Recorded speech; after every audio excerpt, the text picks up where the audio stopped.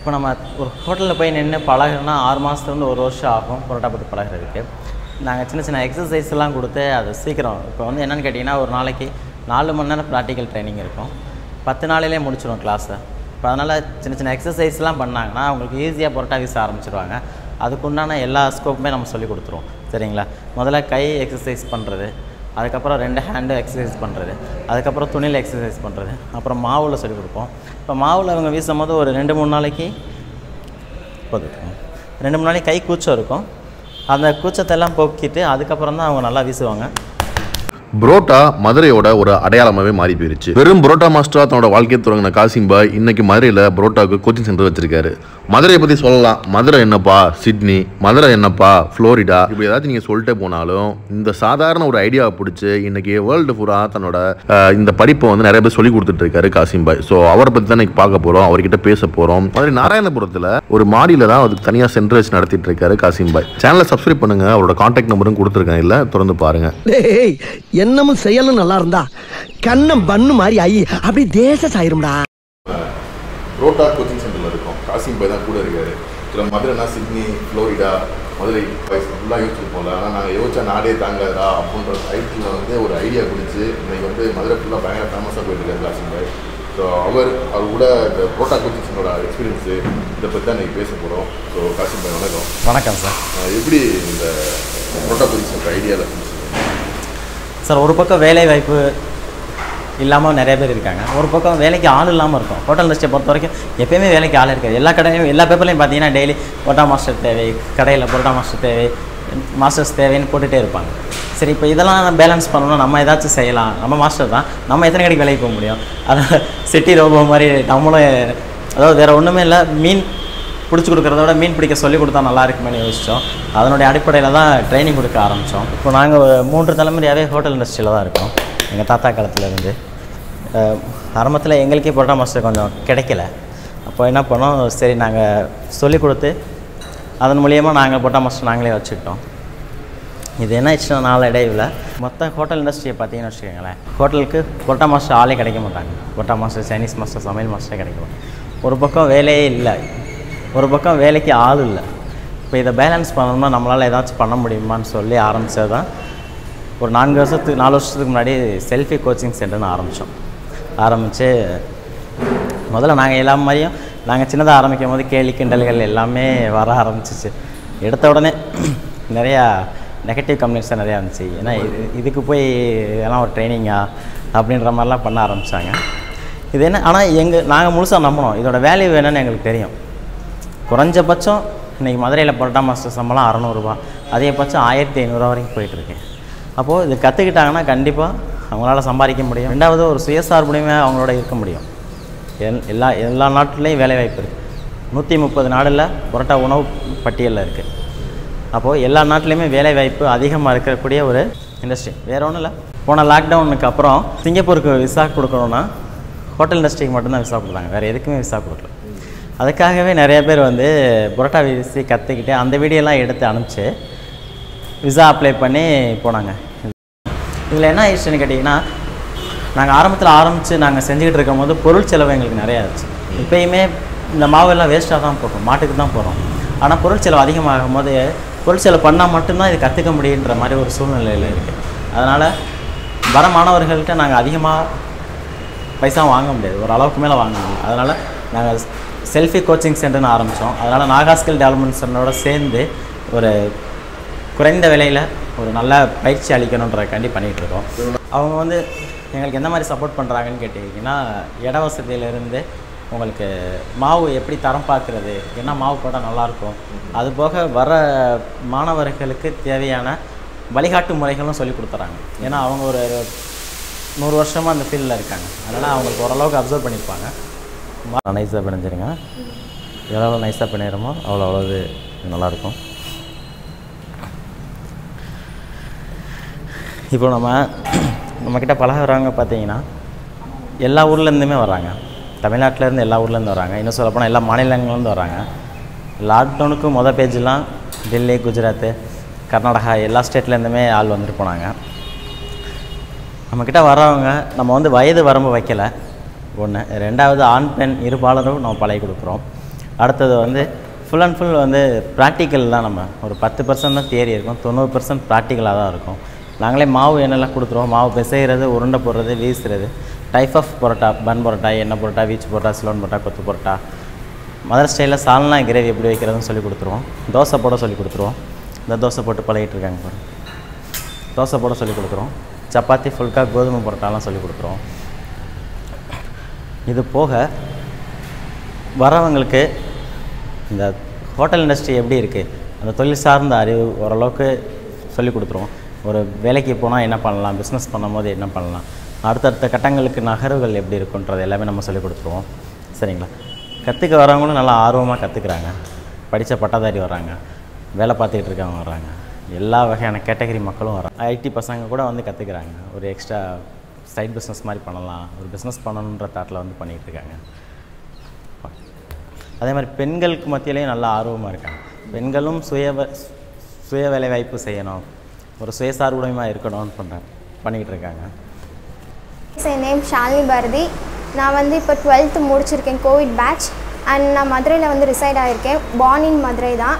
அப்புறம் எனக்கு எப்படி இந்த ஐடியா வந்துச்சுன்னா ஹோட்டல் இண்டஸ்ட்ரி லாக்டவுன்லேயுமே எல்லாமே வந்து பூட்டியிருந்தாங்க. பட் ஆனால் ஹோட்டல் இண்டஸ்ட்ரின்றது வந்து நம்ம தேவை வந்து அதிகமாக இருந்துச்சு. தேவைன்னு இருக்கும்போது தான் நம்மளுக்கு நீடு வந்து அதிகமாக இருக்கும். அந்த நீடு இருக்கும் போது தான் நம்ம நம்ம இதை எடுத்து பண்ணணும் தான் எனக்கு இந்த இன்ட்ரெஸ்டே வந்துச்சு. இது எப்போயுமே அழியாத தொழில். அது மட்டும் இல்லாமல் இதை கற்றுக்கிட்டோம்னா நம்ம நம்ம நமக்கு தேவையானது நம்ம பிடிச்சத பண்ணிட்டு போய் நம்ம சம்பாதிச்சிக்கலாம். ஒரு டென்ஷன் இருக்காது. ஃபேமிலி பேக்ரவுண்ட் வந்து அம்மா ஹவுஸ் ஒய்ஃப் தான். அப்பா வந்து அப்பா என்னோடய ரிலேட்டிவ்ஸ் எல்லாருமே பில்டிங் கன்ஸ்ட்ரக்ஷன்ஸ் அந்த ஃபீல்டில் இருக்கவங்க. இப்போ நீங்கள் கோவிலில் பார்த்தீங்கன்னா கூட லாக்டவுன் வந்தோடனே அந்த ஃபீல்டு ரொம்ப முடங்கிருச்சு. அப்புறம் ஆனால் ஹோட்டல் இண்டஸ்ட்ரீஸ் வந்து அப்படி கிடையாது. அதனால தான் எனக்கு வந்து ஓகே நம்ம புதுசாக பண்ணணும் புதுசாக போகணும். ஆல்ரெடி விழுந்ததுக்குள்ளே விழக்கூடாது. வீட்டில் கூட சொன்னாங்க இன்ஜினியரிங் எடு சிவில் இன்ஜினியரிங் அப்படி இப்படின்னு. இல்லை நமக்கு பிடிச்சத நம்ம பண்ணணும் தான் நான் இதில் வந்தேன் சும்மா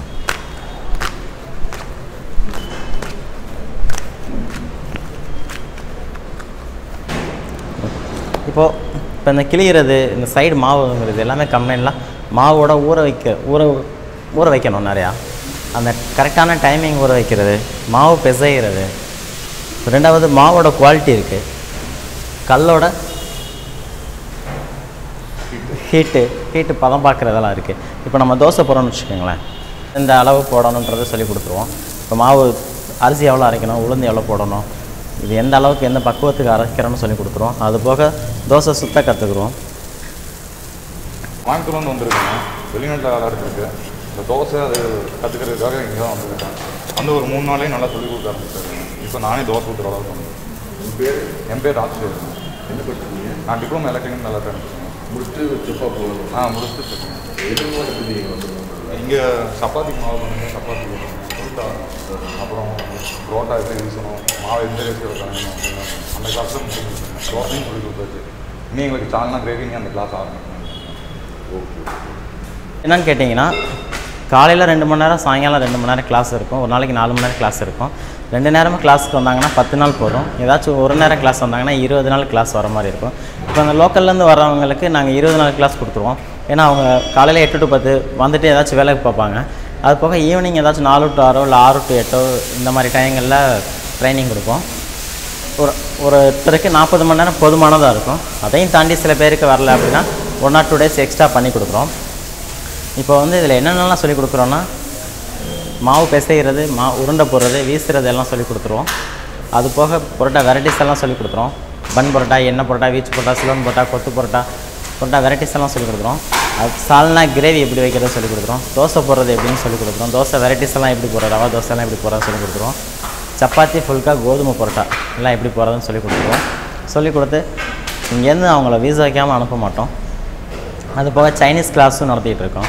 சைனீஸ் கிளாஸுக்கு ஏழு நாள் கிளாஸ் இருக்கும்.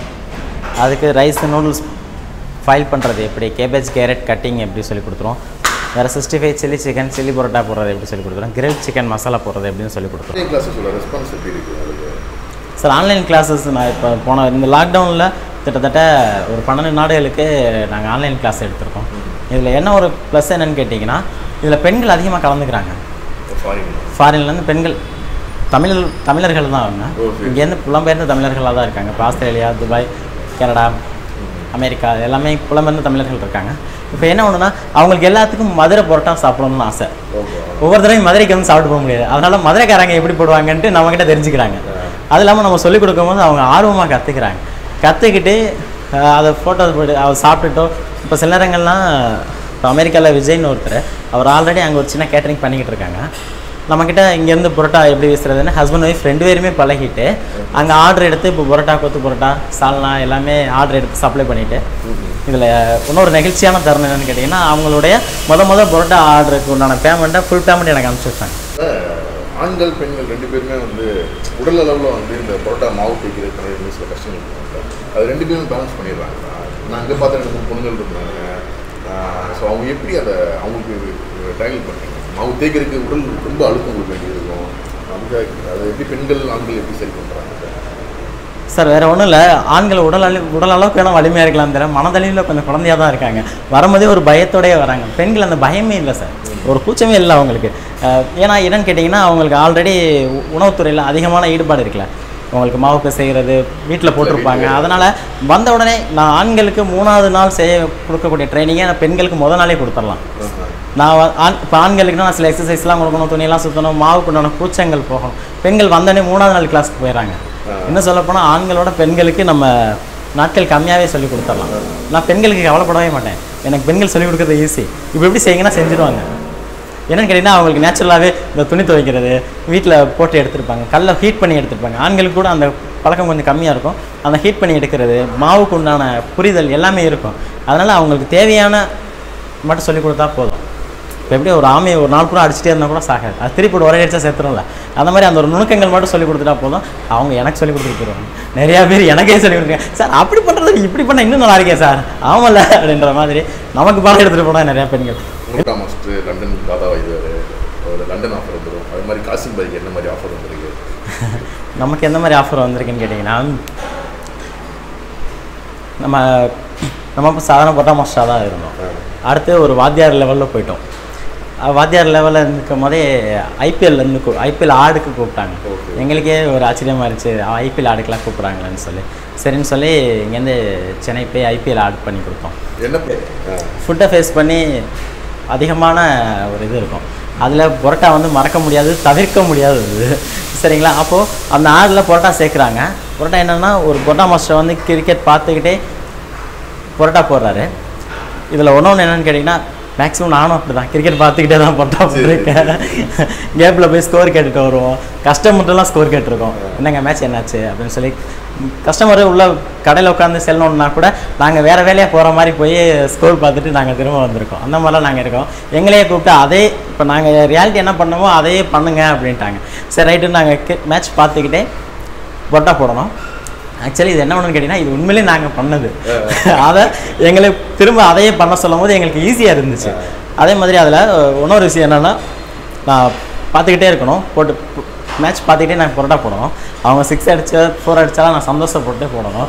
ஒரு அவுட் ஆகிட்டாரு அப்படின்னா கோவத்தில் தூக்கி எறியமோ அது கரெக்டாக கேசியர் தலையில் போய் விழுந்துடும் இப்போது இந்த ஆடு பார்க்கும்போது எல்லாருமே சிரிச்சாங்க அந்த இடத்துல.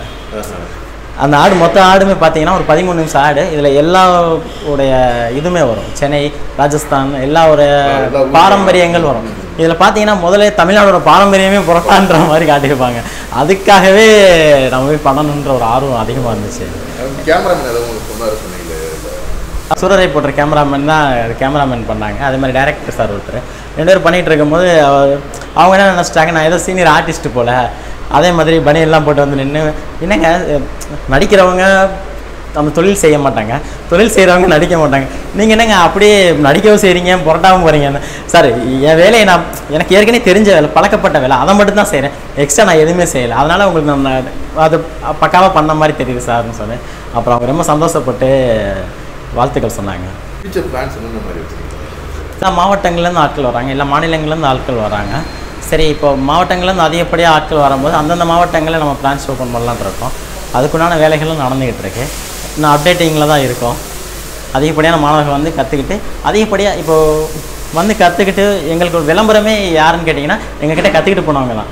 எங்கள்கிட்ட கற்றுக்கிட்டு போய் அவங்க போய் முன்னேறும்போது அவங்கள சுற்றி இருக்கிறவங்க ஏன்னா நேற்று வரைக்கும் சும்மா இருந்தால் இன்றைக்கி மாஸ்டர் ஆகிட்டேன் இந்த மாதிரி போனேன் அப்படியா? அவங்களே கொண்டாந்து ரெஃபர் பண்ணி நம்மள்ட்ட விட்டுட்டு போனவங்களாம் நிறைய பேர் இருக்காங்க. தியரி கிளாஸ் என்னென்ன மாதிரி பண்ணுறீங்க தியரி கிளாஸ் வந்து என்னென்ன மாதிரினா மாவுக்குண்டான புரிதல் சொல்லி கொடுக்குறோம் சார். மாவு எவ்வளோ அளவு ஊற்றணும் தண்ணி அளவு உப்பு அளவு இது எல்லாமே அளவு சொல்லி கொடுக்குறோம் நாங்கள் அரை கிலோலேருந்து ஐம்பது கிலோ நூறு கிலோ போடுற வரைக்கும் அளவு சொல்லி கொடுக்குறோம் என்னென்னு கேட்டிங்கன்னா அளவு எல்லாமே ஒன்று தான் செய்முறையில் தான் இருக்குது அதனால் இப்போ மாவு எவ்வளோ மாவு பிசைகிறது எவ்வளோ உருண்டை போடுறது அதை எவ்வளோ நேரம் ஊற வைக்கிறது அதை எப்படி வீசுறது அந்த இப்போ இந்த பன் பரோட்டா எண்ணெய் பரோட்டா வீச் பரோட்டா சிலோன் பரோட்டா லட்சா பரோட்டா. இந்த பரோட்டா வெரைட்டிஸ் எல்லாமே ஊர்களோட பெயர்கள் மாதிரி தான் இப்போ நம்ம வண்டி ஓட்ட கற்றுக்கிட்டோம்னா எல்லா ஊருக்கு போயிட்டு வந்துடும்ல அந்த மாதிரி இவங்க வீச கற்றுக்கிட்டாங்கன்னா ஒரு சின்ன சின்ன மாற்றங்கள் தான் அந்த மாற்றங்கள்லாம் ஈஸியாக அவங்க கற்றுக்குவாங்க அதனால் என்னென்னா வேறு ஒன்றுமே இல்லை. நம்மளோட ட்ரைனிங் எப்படி இருக்குன்னு கேட்டிங்கன்னா ஒருத்தர் ஹோட்டலுக்கு போகிறாரு அப்படின்னா உனக்கு என்ன பரோட்டா போட தெரியும்னு கேட்குறதுக்கு போது இவர் கேட்கணும். உங்களுக்கு என்ன போடணும்னு கேட்கணும். அந்த மாதிரி தான் நம்மளுடைய ட்ரைனிங் இருக்கும்.